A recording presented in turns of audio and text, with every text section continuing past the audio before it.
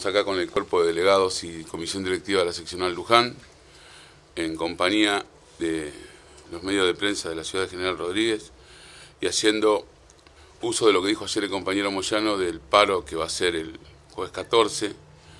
donde esperamos que sea contundente, donde les, decimos a todos nuestros afiliados que no solamente paramos por nuestro convenio colectivo 40-89, sino que paramos por por nuestros hermanos, nuestros hijos, nuestros abuelos, como lo veníamos diciendo, primos, nuestra familia y nuestra, nuestra Argentina que duele, ¿no? Porque cada día nos duele más, porque vemos que, que los trabajadores son excluidos, que los dirigentes sociales son amenazados, corridos por la lucha social de este gobierno que, que prometió tanto y que falló tanto, ¿no? Que siempre fue corriendo el segundo semestre. Ya llevan 25 o 26 meses de, de gobierno, creo que le quedan 14, y siempre es el segundo semestre, pero no sabemos de qué año. Lo que sí estamos seguros es que con este modelo y esta reforma laboral que quieren imponerle al, convenio colectivo de trabajo de, camioneros, no solamente va a caer el convenio colectivo de trabajo de camioneros, sino que va a caer toda la resistencia del, del movimiento argentino del sindicalismo organizado, porque los dirigentes que estamos viendo del otro lado fueron con un 15% y después fueron a revolcarse y a venderse por un 5 más, de paritarias que no sabemos cómo es, que ni, el ni en el tiempo de la dictadura se, se, dieron las paritarias como se le están dando en estos momentos a estos muchachos, o estos señores, que no sé cómo llamarlo, porque la verdad no sé cómo pueden mirar a la cara a sus hijos, a sus nietos y a sus afiliados, cuando están entregando el gremio, están entregando el futuro. Claro, total, ellos no piensan en el futuro. No piensan en el futuro porque son pasados no piensan en el futuro porque ellos están yendo y están condenando a todos los trabajadores de todos los sectores al fracaso, no solamente económico, sino al, fracaso intelectual, porque no van a poder mandar a sus hijos al colegio, al fracaso moral, ¿no? Porque es inmoral que, que los chicos no coman, es inmoral que una familia no tenga para poder vivir lo básico, la salud. Así que por todo eso convocamos a todos los compañeros de otros gremios y de otros sectores que nos quieran acompañar a este día jueves al paro, porque para nosotros creemos que es el primer puntapié inicial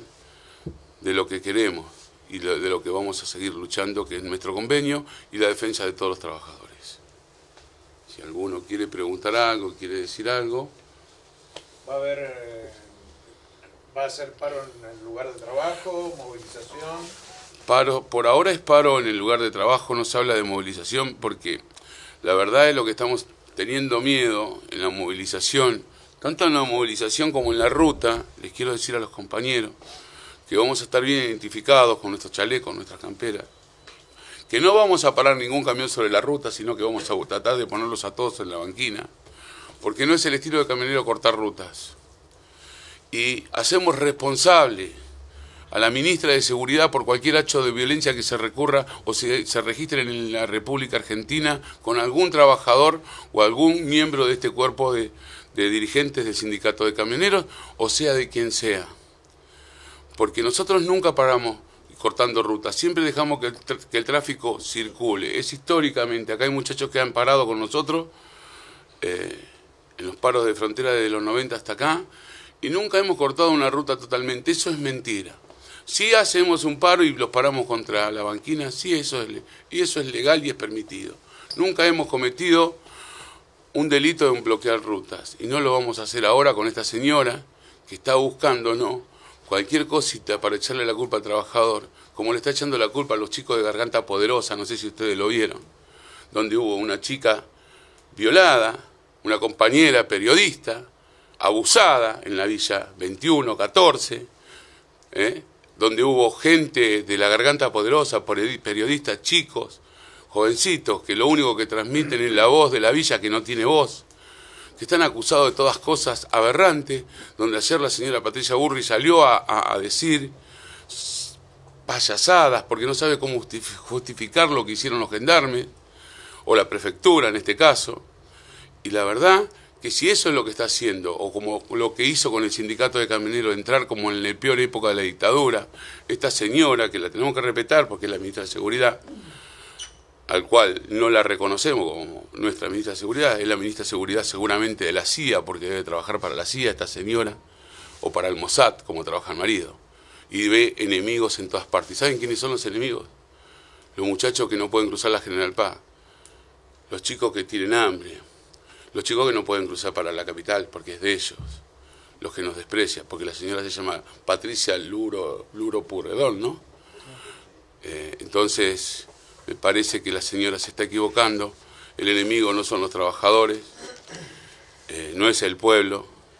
y no son estos chicos, estos chicos que, que hacen cosas maravillosas en las villas, como es la revista, porque es un medio periodístico, no, la garganta poderosa, que transmite todo lo que pasa en las villas y cuentan la, realidad de la villa. Y están siendo perseguidos políticamente e ideológicamente chicos que lo único que hacen es periodismo. Entonces, si a esos chicos que hacen periodismo y dicen la verdad de lo que pasa en Argentina, que tienen hambre, que necesitan educación, cuando nosotros salgamos a pedir aumento de trabajo o aumento de sueldo para equiparar y que no tengamos esas cosas, eso es violencia para ellos. Violencia no es perseguir periodistas, acallar sindicalistas, perseguir ideológicamente a políticos. Eso es el modelo que tenemos. Así que desde este lugar le vamos a decir, hasta acá llegaron y acá nos quedamos y vamos a defender nuestro convenio. Y también volvemos a reiterar, cualquier hecho de violencia que suceda dentro de las rutas nacionales o tanto como eh, acá en los hechos locales, la vamos a hacer responsable a la ministra de Seguridad. Así que muchas gracias a todos y nada más que decirle que a trabajar muchachos. ¿eh?